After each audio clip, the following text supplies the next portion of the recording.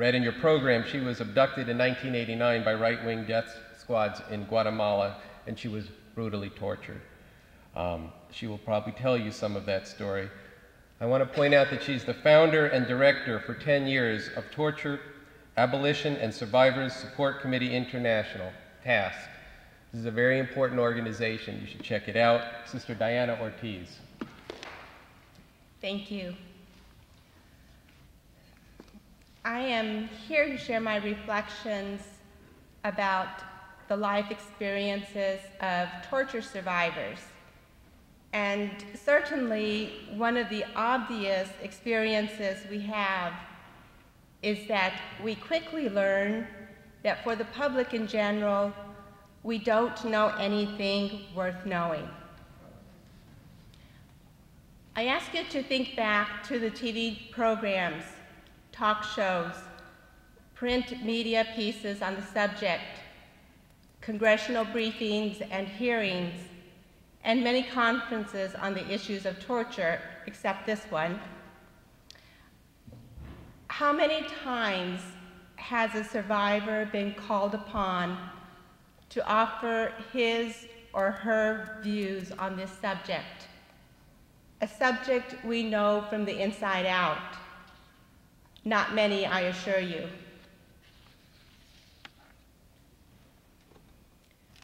For those who are willing to listen to us, it should soon be obvious that torture leaves no part of a person's life untouched. What I will share with you tonight is drawn from my interactions with fellow survivors over the past decade and a half. While there is no one single model that encompasses all lived experiences of survivors, there are characteristics or effects that are quite common among us.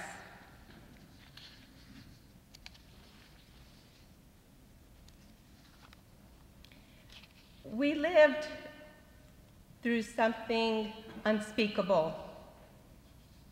At the point of victimization, we begin to die a slow death. We are stripped of our dignity, our sense of control, and our very link with humanity. Trust is gone. Hope is gone. Faith is gone. And security is gone. And we are prepared to say anything we think they want to hear so that they may more quickly kill us. In the words of one Honduran torturer, eventually they all begged to die.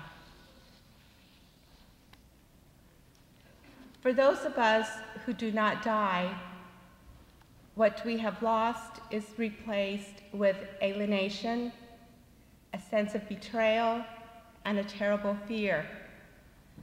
A metamorphosis takes place though technically alive, we feel more akin to the dead than to the living. People around us celebrate our survival while we mourn our own deaths. We are strangers to everyone, those closest to us, even to ourselves. We are no longer part of a world where once we felt at home. Listen for a moment to the words of the tortured Austrian philosopher Jean Amery. Anyone who has been tortured remains tortured. Anyone who has suffered torture never again will be at ease in the world. Faith in humanity already cracked by the first slap in the face and then demolished by torture is never acquired again.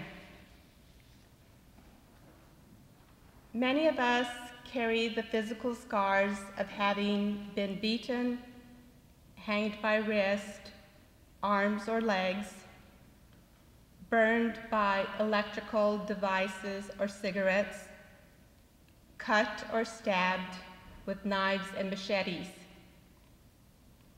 Then there are those with permanent head injuries, amputated limbs, and the like. Each mark, visible or invisible, is a lasting reminder of what was done to us. A reminder that often brings embarrassment and even shame. What a cruel irony it is. It is the tortured and not the torturer who feels shame. In 1997, as part of a National Institute of Mental Health working group on the mental health consequences of torture, I spoke with countless survivors. And I remember a young woman who, in addition to being subjected to waterboarding, had been raped daily by her torturers. They left marks on her body symbolizing their pride of ownership. I lost contact with her, but I thought of her very often. And one day, not so long ago, I heard from her. She had dared to take a risk of letting a person into her life. He knew that she had been treated badly in her country, but he still loved me she just said. And we got married, she continued. Then the sobs came. On what was to be an important moment in their life together, her husband saw for the first time her breast.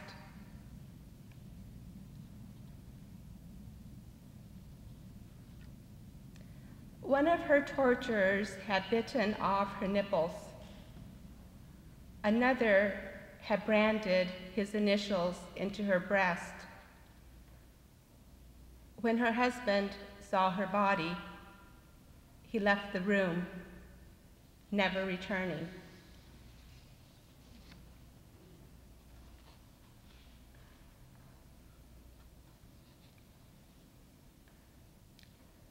While the physical act of torture may be assigned to the past, its psychological effects permeate the present and blight the promise of the future. So often, this is torture's intention. Torture is an attempt to obliterate a person's personality, to turn him or her into a quivering mass of fear, cowering in some corner of the world, afraid to look for the dawn. Torture does not end with the release from some clandestine prison, and it's not going to end for those who someday may be released from Guantanamo. It is not something we get over. It is forever, forever strapped to our backs. It constitutes a permanent invasion of our minds and our souls. Someone in uniform, a scream, the smell of a cigarette, perspiration, urine, whistling, heavy breathing, dripping water, clattering of keys, the sight of a dog, simply being in a cold, bright room, even making eye contact, being photographed, or a friendly embrace, any of them threaten to return us to that past which walks so closely behind us. Imagine for a moment what it's like to be shadowed by these images day in and day out. If one human being can do to another what has been done to us in those dark places, then for us, anyone is capable of anything at any time for any reason or no reason at all. The only defense is to withdraw far into oneself. Trust no one. Look out at the world with guarded eyes. Imagine living that type of life. Survivors live it every single day.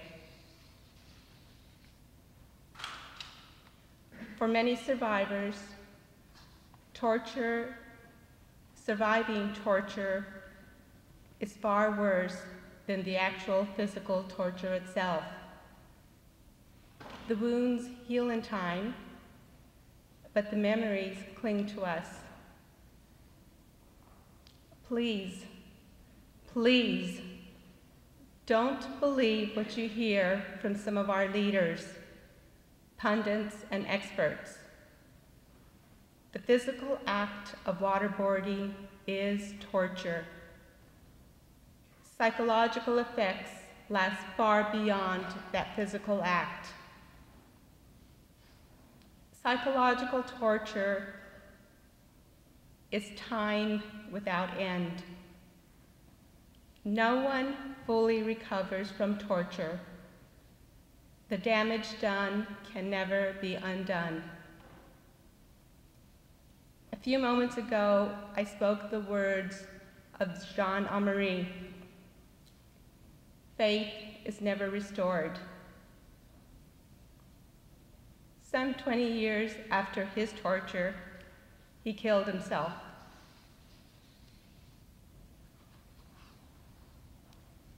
I would be remiss if I did not mention something about the triumph of the human will.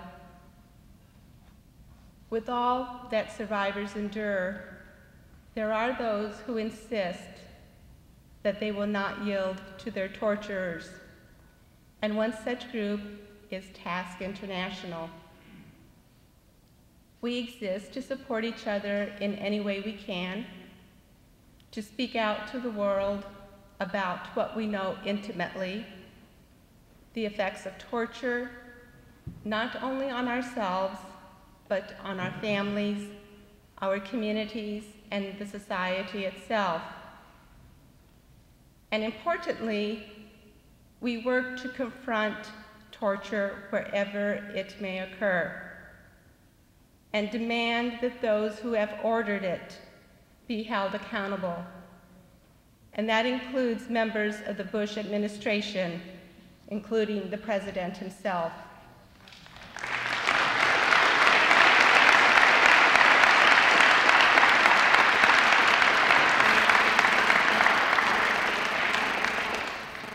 What do survivors have to say to those who have never been tortured?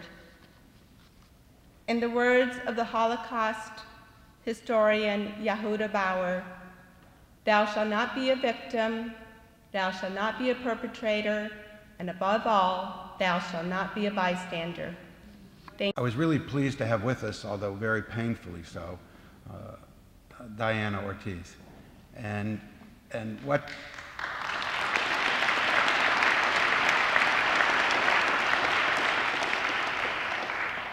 I mean, we, I know we all weep when we hear Diana, but what her presence here really signifies to me is what's absent uh, in the entire seven or eight years where this country has run an open and notorious torture program. And that's the absence of the survivors of that program. And I think what a difference it would make uh, in this country if we could have the mothers of Guantanamo outside the White House every single day um, instead of, I mean, it's wonderful to have the people in the jumpsuits, uh, but the reason this torture debate, if you want to call it that, is so foolishly ignorant and stupid um, is because it's a debate among people who are not the survivors of torture. And so I really want to thank Diana because I know, as you can see, it's not easy uh, for her to go back through what happened to her um, and to talk about it. Um, but it's really important uh, for all of us to hear it. So thank you, Diana. Diana's case also um, is the Guatemala torture in the 80s. Um, it also tells us um, really what Andy was saying, uh, that when you hear this debate about we need torture to get information, we don't need torture. I mean, they do need torture to get the false information they use to get us into the Iraq War, um, but that's a different issue. But, but the, when you talk about getting information and this debate about it, uh, what the Guatemala cases illustrate really vividly, and what Diana's case in particular, is that torture is not about information. It's about domination and oppression. And it's about domination and oppression, whether it's in Guatemala, Afghanistan, or Iraq, and domination and oppression in our police precincts in the United States or in our prisons in the United States. It's not about information. So while yes, we have to call to abolish torture, to prosecute uh, the last set of the torture conspirators who have just left office, it's absolutely necessary. Uh, that the causes of torture, and torture itself is not some slogan to simply say abolish torture. We have to actually ultimately get rid of the causes and the system uh, that sets up a government uh, that tortures people not only in this country, but all over the world.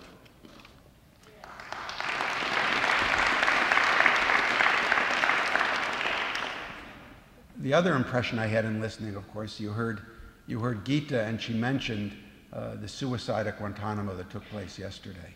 And you know, it just struck me in a way, it, just, it really, when I thought about this man who was 31 years old, been there for seven years, weighed at one point 87 pounds because he was on a hunger strike, uh, finally, somehow figuring out how to take his own life. Um, it's just devastating. And it's not it, and it's devastating. You understand now that this is no longer Bush's Guantanamo. This is President Barack Obama's Guantanamo. And when that man, when that man takes his life, um, that's on President Barack Obama's hands. It's not any longer Bush's hands. And when we talk about, and you know, there's a big case that's always talked about the Uyghurs. The Uyghurs are the 17 men at Guantanamo from Western China. And they've been declared innocent even by this government and the last government. And they shouldn't be at Guantanamo at all. And the Bush administration kept them there day after day. The courts ordered them released. The, first the Bush administration and then the Barack Obama administration said he would not parole them into the country, which he could do. Uh, so they have now been there uh, four months, innocent men under this current administration. We fight in this country to get people out of prison then when they're down at uh, what we used to call the tombs, but 100 Center Street, uh, for one night.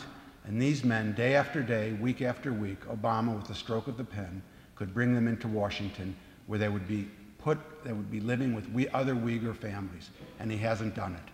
So again, I want to say the innocent and the others at Guantanamo are now really in Barack Obama's hands, and it is his Guantanamo.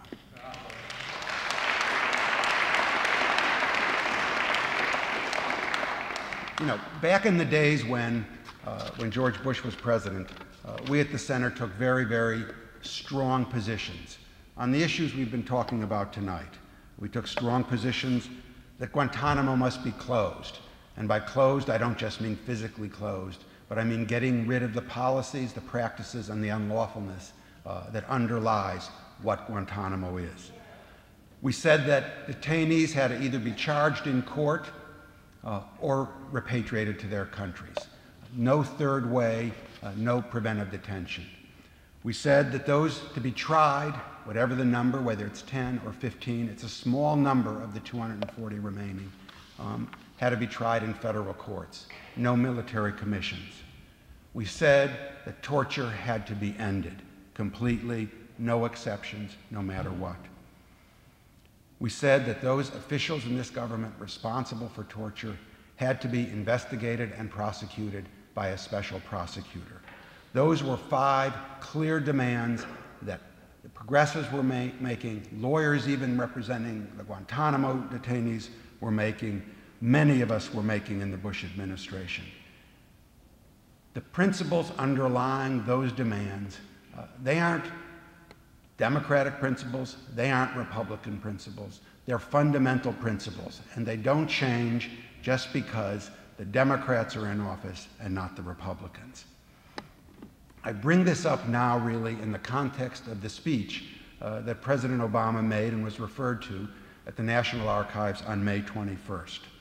I can tell you this we at CCR did not find the President's position in that speech acceptable, and we said so. In fact, a day before the meeting, uh, President Obama did something that President Bush would never have done. He invited the Center for Constitutional Rights and our executive director and a number of other human rights groups to meet with him the day before he gave the speech. Vince Warren went down, our executive director at the center, for the center. Uh, and he got a glimpse of what the president was going to say the next day in his speech. And here is how he left the meeting in a statement Vince said. I came out of the meeting deeply disappointed in the direction that the administration is taking, and I don't see meaningful differences between these detention policies and those erected by President Bush. So there you have it. The next day at CCR, we're sitting around, we're sitting around the room and watching the speech at the National Archives. And there's uh, President Obama, a very effective speaker. National Archives, the place where the Constitution is housed, the Bill of Rights, uh, is housed. And, and, and President Obama effectively talked about those two founding documents and talked about their meaning and how important uh, they were. It was an extremely compelling beginning to the speech.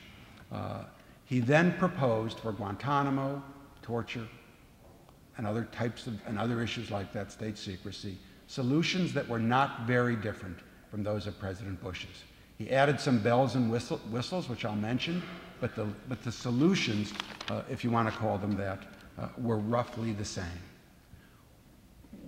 One striking part of the speech, and I'm sure many of you picked up on it, was the word absolutists. He referred in the speech uh, to absolutists on two sides. One set of absolutists were those who said they would do anything in the name of national security, that they would violate fundamental values and they would do anything. The other set of absolutists were those who put values over security, as if holding on to our fundamental values against torture is somehow putting, putting uh, values over security. And of course, those two poles one is the Cheney pole, the other is the pole of those of us on this stage and in this audience and at the center who actually believe that there's certain fundamental values that you can never violate. And he talks about how the Americans don't believe in two absolutes. And I have to tell you, it was one of the most offensive equations I could have hear, I could have heard. Because here you have him saying that someone like Cheney, who, put, who says we can do anything, uh, is the equivalent of someone like the Center for Constitutional Rights, or like me, or the people on this stage. And what he's saying is that those who torture are akin to those who say we can never torture. Those who say we can have a Guantanamo are akin to those who say we can never have a Guantanamo. Uh, I don't think you really have to say, say it more dramatically uh, to understand uh, what is really going on on that issue, and that Obama then says, President Obama then says he's going to take a middle ground. Well, the middle ground is really not a middle ground. The middle ground is one much closer uh, to, uh, to the Bush policies uh, that we've talk, talked about. when, that, when that speech was over, I concluded, and we issued a release at the office, that said the president wrapped himself in the Constitution and then proceeded to violate it. Uh, and that's exactly what that speech did.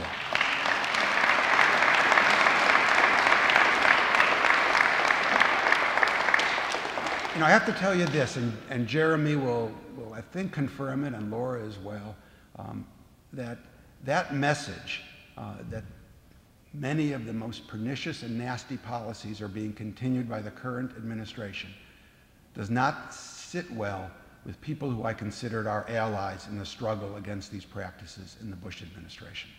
Many, they offer many excuses. You've heard some of them. it's too soon. The DOD, the Department of Defense, is pushing him. Uh, the CIA is pushing him. He has too much on the right pushing him. And of course, he has the Democrats now voting 90 to 6 to not uh, take a Guantanamo detainee in the United States. But I have to tell you, there's no excuses, uh, no excuses that can be given for military commissions, preventive detention, torture, or giving impunity uh, to the torture conspirators. A democratic Guantanamo, a democratic Guantanamo is not better than a Republican Guantanamo.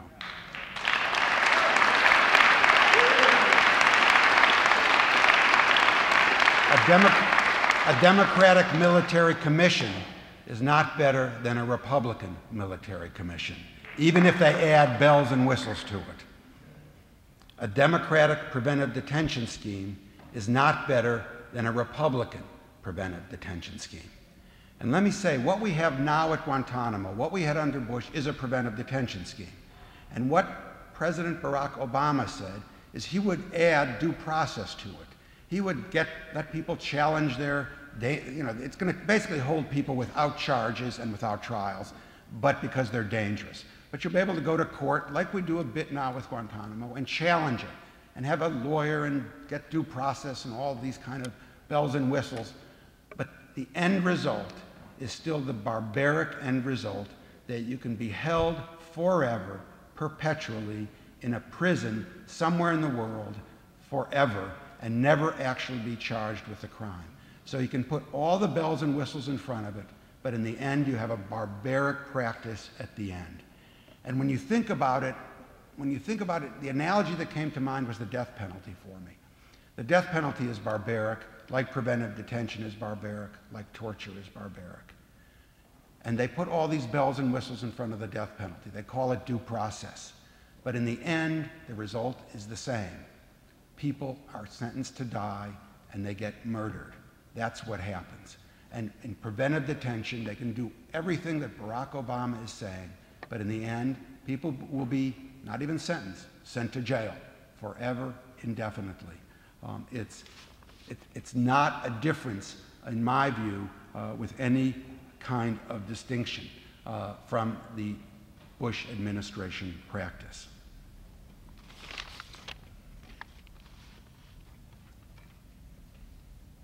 The other two issues are torture and, the process, and accountability. And of course, has been said, and Jeremy's articles are really excellent on the immediate reaction forces in Guantanamo and the torture that's going on there currently, the forced feeding that's going on there, uh, and the torture in other sites we never even get into, the Bagrams of the world. We just don't get lawyers in there. Uh, and again, in that, even, even in those practices, even when he said he abolished torture in the executive order, um, he actually left some of the regime, it's called Annex M of the Army Field Manual. It allows sensory deprivation, it allows uh, sleep deprivation, uh, it allows isolation. So it's not over by a long shot. Uh, we still have a long way to go. Guantanamo is the part we see, we see the most visibly, uh, but it's still there.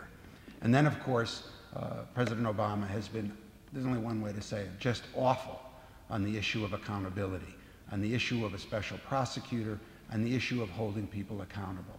And you know, it's, it's really appalling when I hear the words, we have to think about the future and not go back to the past. It's really a disingenuous statement. Uh, because if we're thinking about a future without torture, you get that, you get that by holding accountable the torturers. You get that by deterring torture in the future.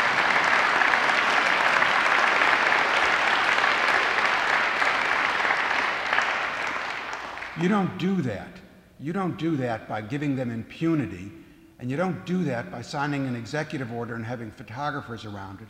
So the next president that can come in can simply sign a different executive order and begin a torture program that hasn't really ended, but begin the whole hog torture program again. That's the next picture. Uh, I mean, in some way, it's the most disturbing picture of it all. That, that the, the illegality of torture is determined by who happens to be uh, the president at a particular moment. Uh, it's unacceptable, uh, and it means uh, that we really need to push on this issue.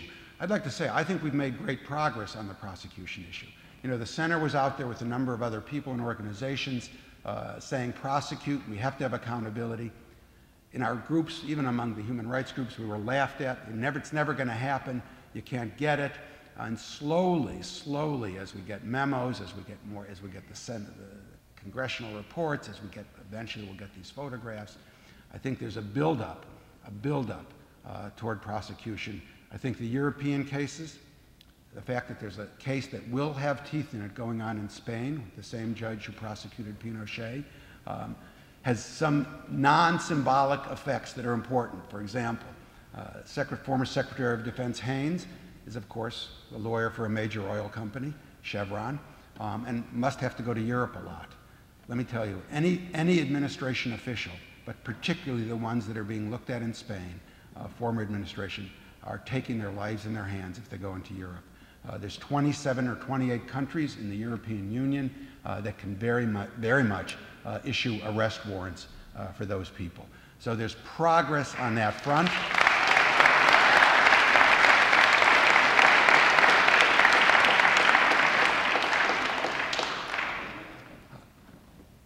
So in the end, really, um, our work, our work is not so different, um, even though we get invited to the White House on occasion um, is, which never would have happened, uh, never happened to the Center for Constitutional Rights ever in its life. It's almost embarrassing to mention it. Um, but, um, but, uh, but we have our work to do.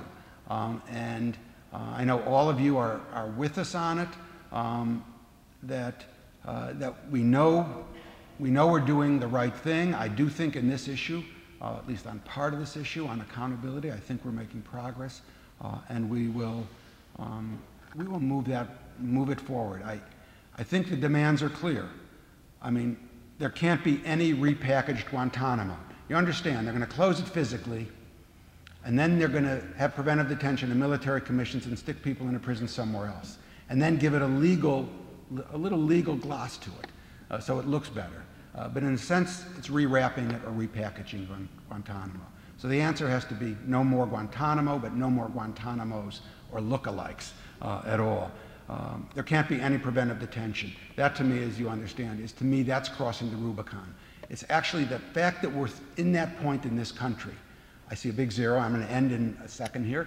Um, the fact that we're actually seriously contemplating preventive detention is really, to me, about a declining empire. Uh, it's really saying um, that these are the kinds of techniques and means we now need to control a world, a population, uh, whatever, um, that no longer will accept U.S. hegemony if they ever did. Um, so we need no preventive detention. Obviously, military commissions are just ridiculous. I mean, it's like even hard for me to believe those words came out of President Obama's mouth. I mean, we have federal courts for 225 years in this country, and they're talking about military commissions. You also understand all of these things we've talked about, including torture as we get to it. No, they're not doing it against Christians. They're not doing it against Jews. They're doing it against Muslims. So all of these techniques, every one of them, um, really have to be understood as essentially and fundamentally racist. And when people say, well, it's only for this exception and for this,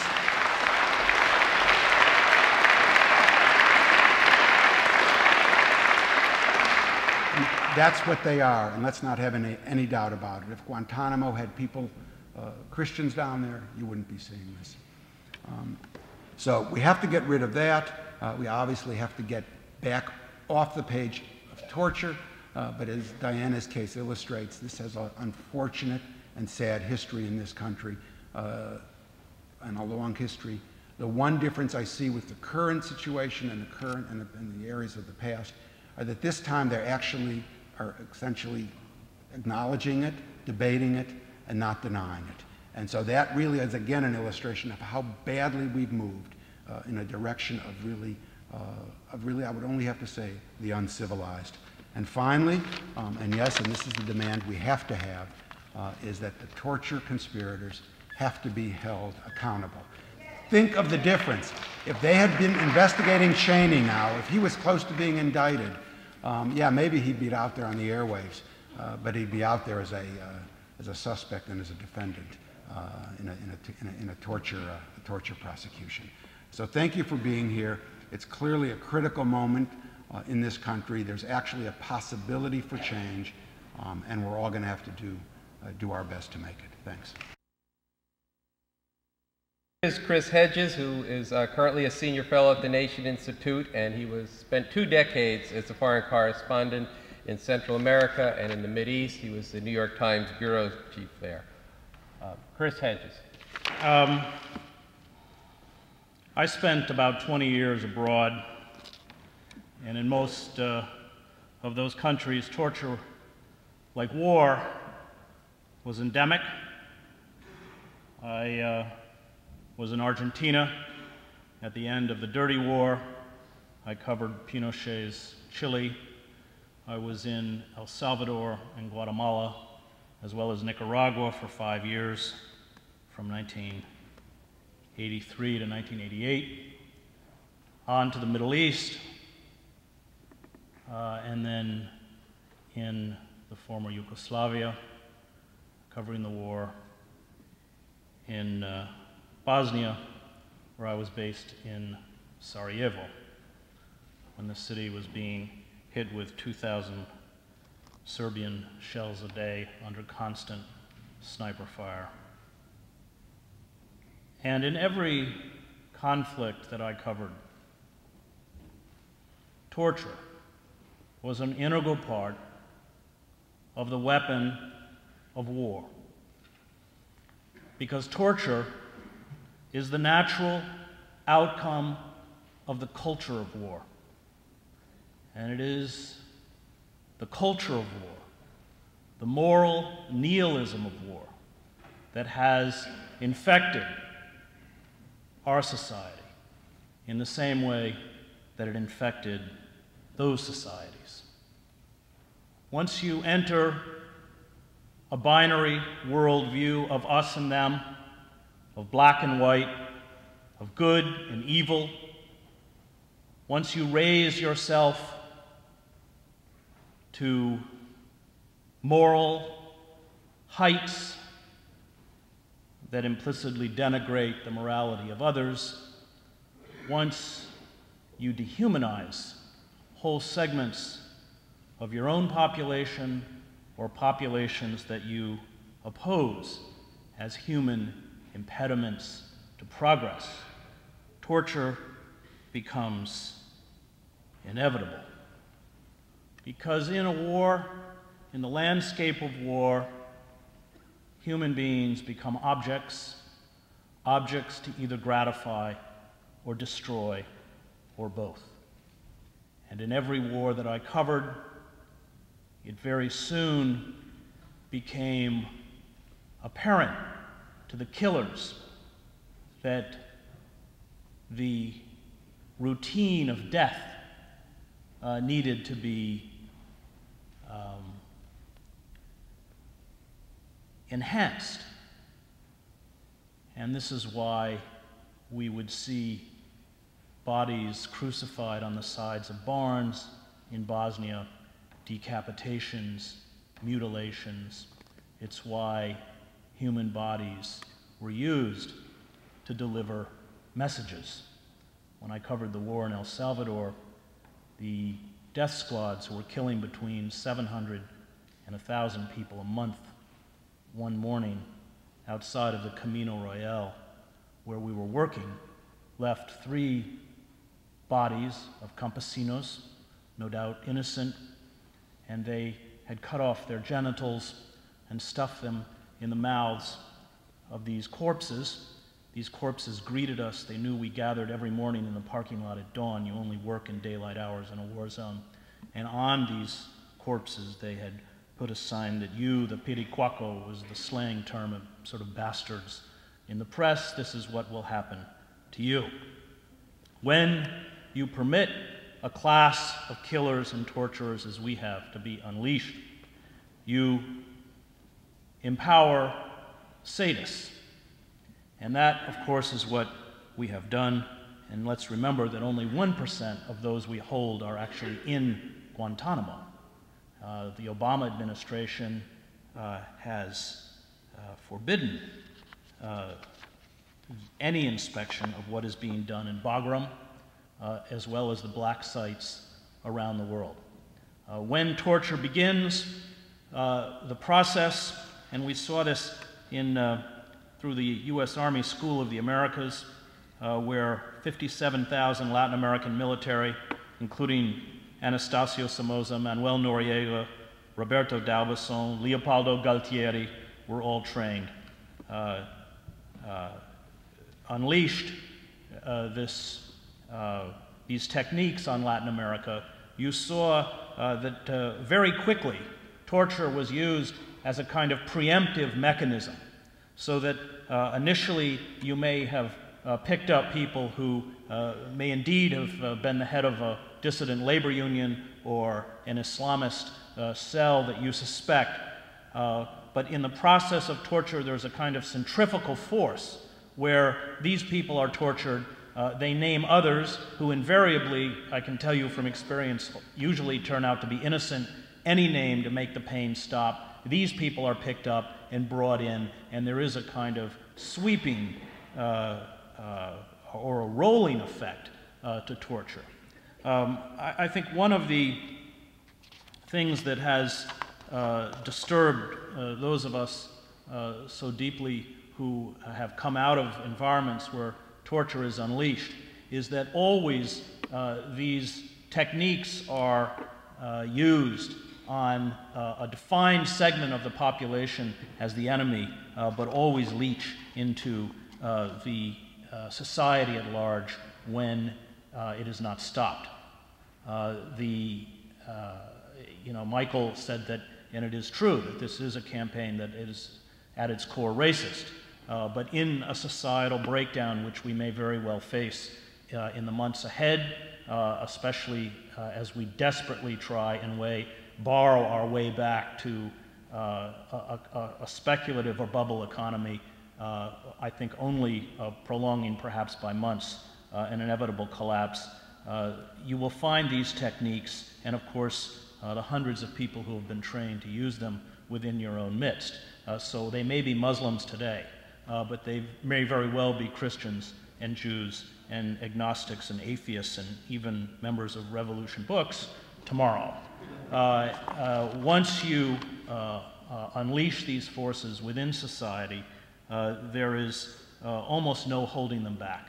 And I think almost every conflict that I covered uh, bears this out. Uh, when you look at, for instance, the dirty war in Argentina, uh, which 30,000 of its own citizens disappeared, you saw how this subterranean force that lacked any kind of oversight and any kind of control mushroomed throughout the society and rent and tore Argentina apart.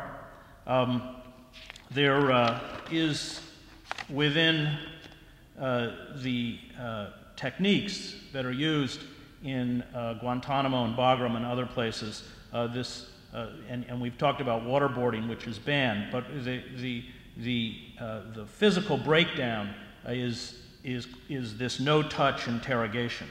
And uh, these were techniques that were developed uh, by, primarily by psychiatrists and others who, of course, are in Guantanamo uh, to monitor the physical deterioration and mental deterioration of the prisoners. These techniques were uh, developed during the Cold War, and uh, they uh, have created sophisticated mechanisms by which people can be broken to a catatonic state through sensory deprivation, exhaustion, isolation, uh, it's why you see people blindfolded, why you see them covered, and why you see uh, earphones on their heads.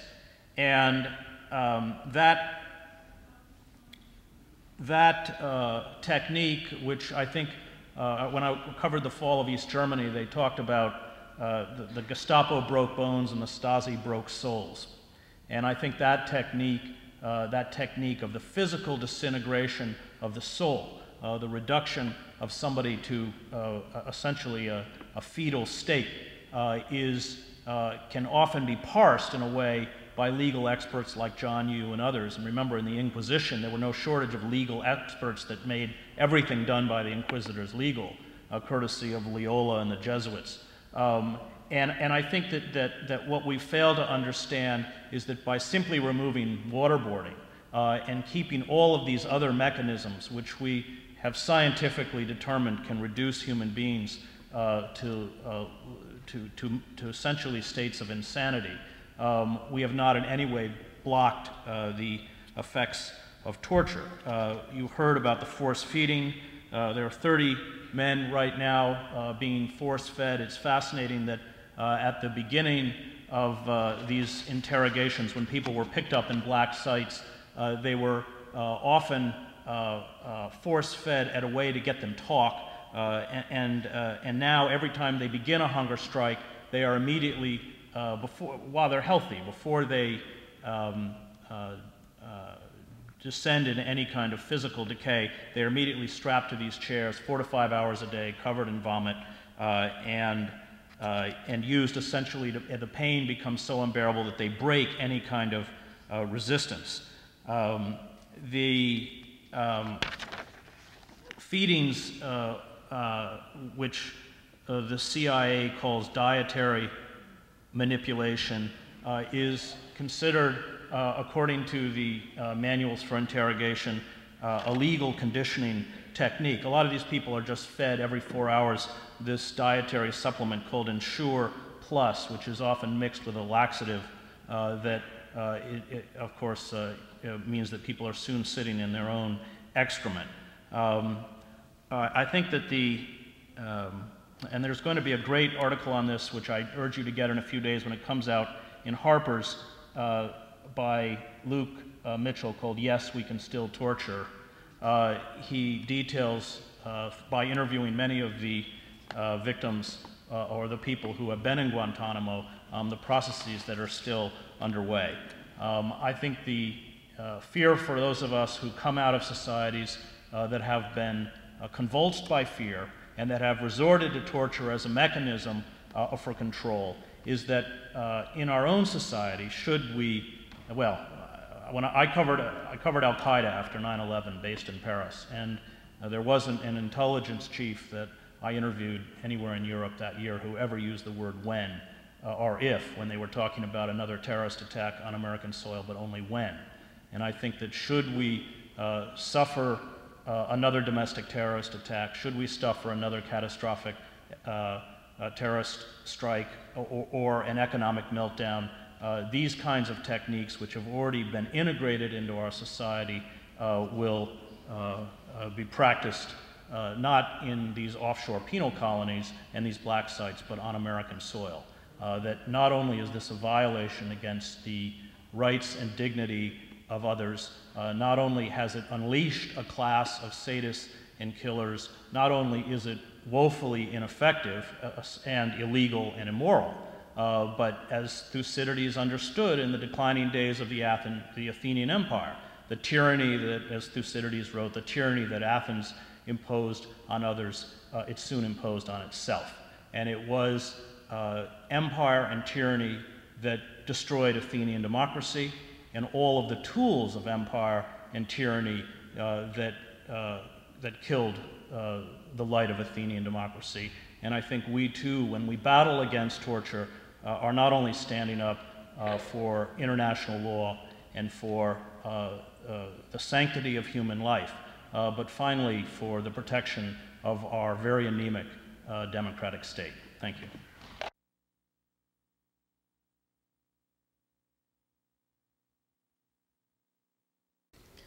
Juma al Dosari, a 33 year old Bahraini national, is the father of a young daughter. He has been held at Guantanamo Bay for more than five years. In addition to being detained without charge or trial, Dosari has been subjected to a range of physical and psychological abuses. He has been held in solitary confinement since the end of 2003 and, according to the U.S. military, has tried to kill himself 12 times while in prison. On one occasion, he was found by his lawyer hanging by his neck and bleeding from a gash in his arm.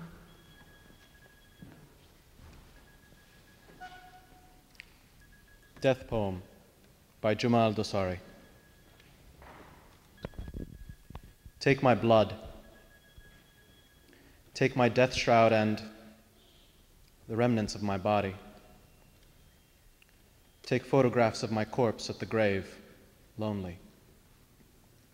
Send them to the world, to the judges, and to the people of conscience. Send them to the principled men and the fair minded. And let them bear the guilty burden before the world of this innocent soul. Let them bear the burden before their children and before history of this wasted, sinless soul, of this soul which has suffered at the hands of the protectors of peace.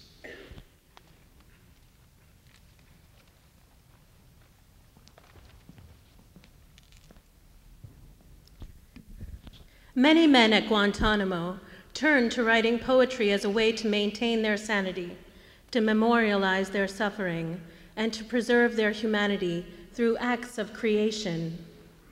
The psychic toll that Guantanamo has taken on the detainees is unfathomable.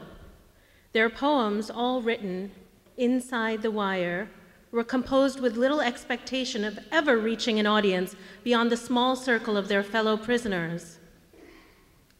The obstacles they have faced in composing their poems are profound. The Pentagon refuses to allow most of the detainees' poems to be made public, arguing that poetry presents a special risk to national security because of its content and format. In the first year of their detention, many were not allowed the use of a pen and paper. Some would draft short poems on styrofoam cups they had retrieved from their lunch and dinner trays. Lacking writing instruments, they would inscribe their words with pebbles or trace out letters with small dabs of toothpaste, then pass the cup poems from cell to cell. The poems you are hearing tonight were declassified, collected, and published in 2007 as Poems from Guantanamo, edited by Marc Falkoff. Sheikh Abdur Rahim Muslim Dost is a Pakistani poet and essayist who spent nearly three years in Guantanamo with his brother.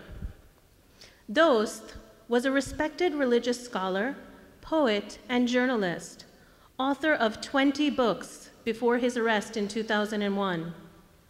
While at Guantanamo, he composed thousands of lines of poetry in Pashto, most of which were retained by the US military after his release in 2005. In October 2006, shortly after Dost and his brother published a memoir of their Guantanamo detention, Dost was again arrested by Pakistani intelligence. He has not been heard from since. Cup Poem 1 by Sheikh Abdul Rahim Muslim Dost. What kind of spring is this where there are no flowers and the air is filled with a miserable smell?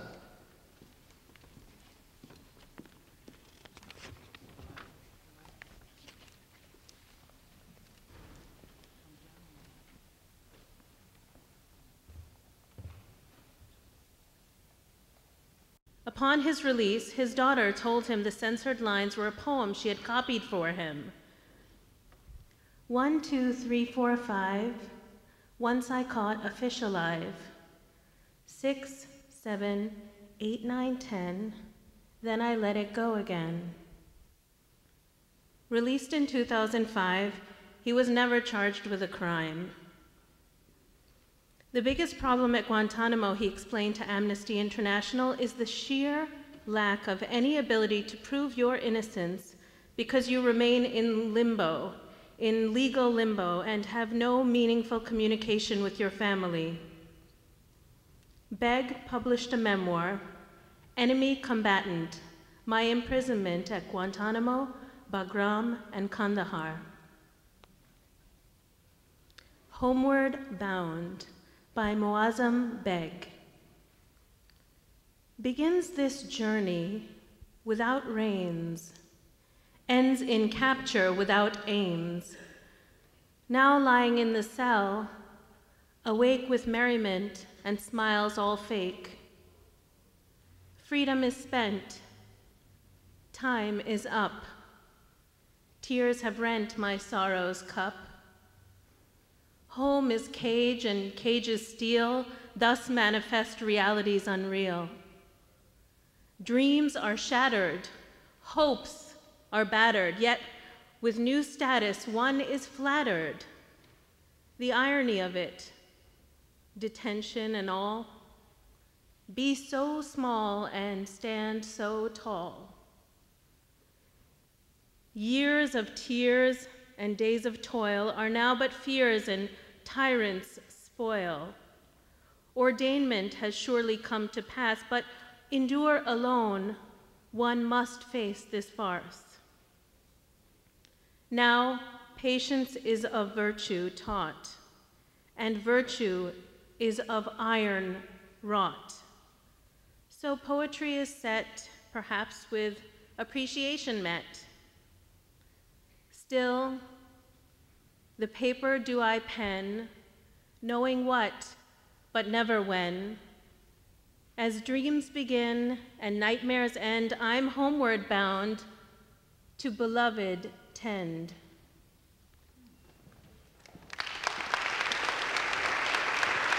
Osama Abu Kabir is a Jordanian water truck driver who worked for the municipality of Greater Amman. After joining an Islamic missionary organization called Jama'at al Tablighi, he traveled to Afghanistan, where he was detained by anti Taliban forces and handed over to the US military. One of the justifications offered for his continued detention is that he was captured wearing a Casio digital watch a brand supposedly favored by members of Al Qaeda because some models may be used as bomb detonators. Kabir remains at Guantanamo. Is it true by Osama Abu Kabir? Is it true that the grass grows again after the rain? Is it true that the flowers will rise up in the spring? Is it true that birds will migrate home again? Is it true that the salmon swim back up their stream? It is true. This is true. These are all miracles. But is it true that one day we'll leave Guantanamo Bay? Is it true that one day we'll go back to our homes? I said in my dreams, I am dreaming of home. To be with my children each one part of me. To be with my wife and ones that I love. To be with my parents, my world's tenderest hearts. I dream to be home, to be free from this cage. But do you hear me, O judge? Do you hear me at all? We are innocent here. We've committed no crime. Set me free. Set us free, if anywhere still justice and compassion remain in this world.